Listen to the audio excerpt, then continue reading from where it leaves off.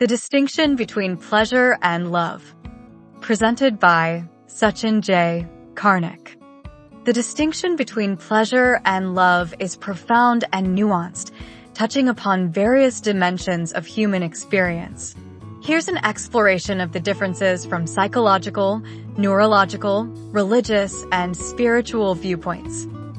Psychological perspective. Pleasure. Pleasure refers to a transient feeling of satisfaction or enjoyment that arises from sensory experiences, such as tasting delicious food, experiencing physical touch, or engaging in pleasurable activities like listening to music or watching a movie.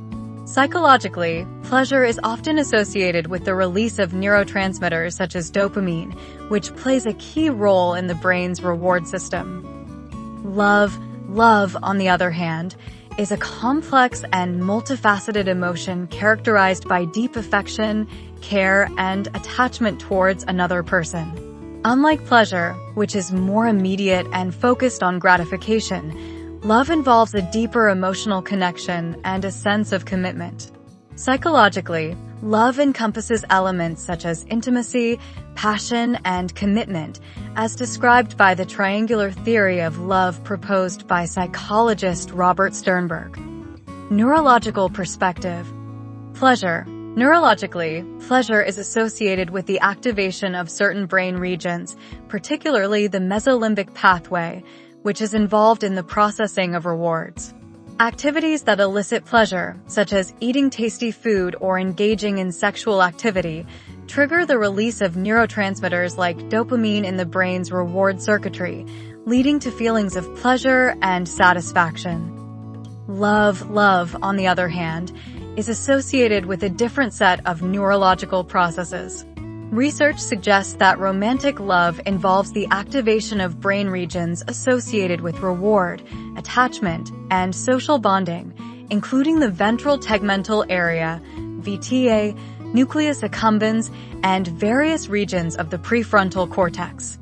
These neural circuits contribute to the experience of romantic attraction, emotional bonding, and long-term attachment in loving relationships. Religious perspective. Pleasure. In many religious traditions, pleasure is viewed neither inherently good nor bad, but rather as a natural aspect of human experience. However, excessive indulgence in pleasure-seeking activities at the expense of spiritual growth or moral values may be discouraged or condemned in some religious teachings. Love. Love holds significant importance in various religious traditions, often revered as a divine or transcendent force that binds individuals together and fosters compassion, empathy, and altruism. Many religious texts and teachings emphasize the importance of love for God, oneself, and others as a central tenet of spiritual life. Love is seen as a transformative and purifying force that leads to spiritual growth and enlightenment. Spiritual perspective Pleasure. From a spiritual perspective, pleasure is often seen as fleeting and superficial, providing temporary satisfaction, but ultimately failing to fulfill deeper spiritual needs. While enjoying pleasurable experiences is not inherently opposed to spiritual practice, attachment to sensory pleasures and the pursuit of hedonism are viewed as obstacles to spiritual awakening and liberation. Love, Love is considered a fundamental aspect of spiritual awakening and the realization of one's true nature. In many spiritual traditions, love is seen as the essence of the divine and the highest expression of human consciousness. Spiritual love transcends individual desires and attachments, encompassing universal compassion, unconditional acceptance, and a deep sense of interconnectedness with all beings. Practicing love and cultivating loving kindness are central to many spiritual paths as a means of attaining spiritual fulfillment and liberation from suffering.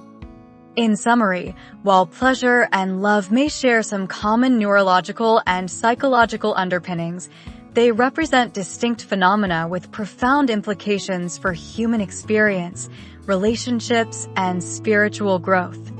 Pleasure is associated with immediate gratification and sensory enjoyment, while love involves deeper emotional connections, attachment, and a sense of spiritual interconnectedness.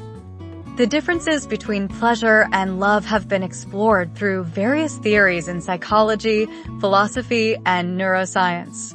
Here are some of the key theories and ideas about how pleasure and love differ. 1. Psychological perspectives. Hedonic versus eudaimonic happiness. Pleasure, hedonic happiness, is often linked to immediate gratification and sensory experiences that bring enjoyment. In contrast, love, part of eudaimonic happiness, involves deeper, more enduring relationships and commitments that contribute to one's sense of purpose and well-being. Attachment theory. Love is often associated with attachment styles, secure, anxious, and avoidant, which influence how individuals form and maintain close relationships. Pleasure does not necessarily involve emotional bonding or long-term commitment. 2. Philosophical distinctions.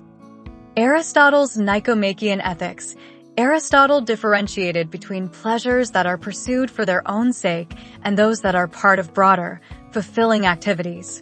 Love, in his view, might be considered an activity involving goodwill and the seeking of another's good, inherently more complex than simple pleasures.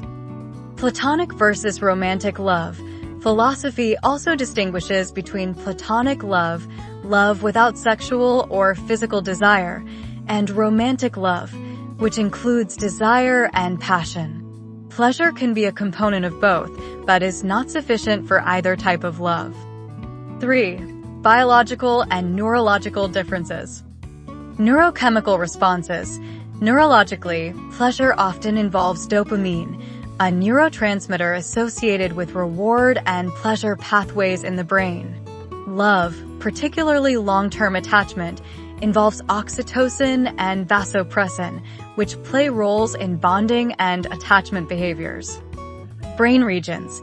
Studies using brain imaging show that different areas of the brain are activated by pleasure and by feelings of love. For example, pleasure might activate more sensory-focused areas, whereas love activates regions associated with bonding and complex emotions. 4. Temporal and motivational aspects. Duration and stability. Pleasure is typically fleeting and can be momentary, often dependent on specific stimuli.